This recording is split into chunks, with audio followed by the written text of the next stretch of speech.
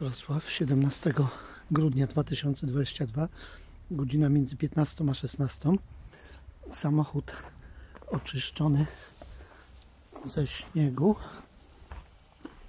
Wycieraczki oczyszczone z lodu.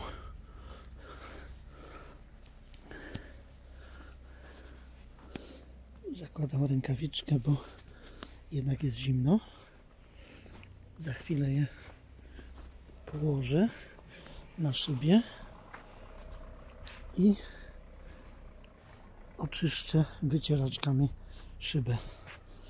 I zobaczymy jak to pójdzie. Jak trzeba będzie oczyszczać miotełką i skrobakiem, to zrobię to miotełką skrobakiem.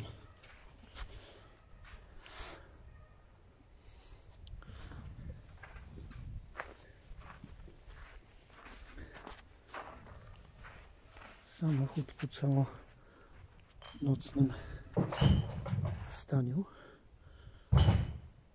na mrozie.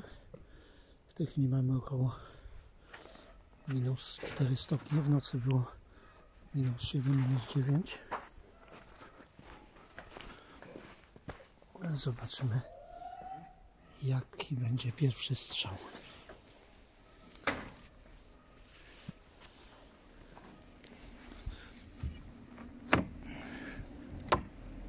Kładę wycieraczki, wsiadam i odpalam.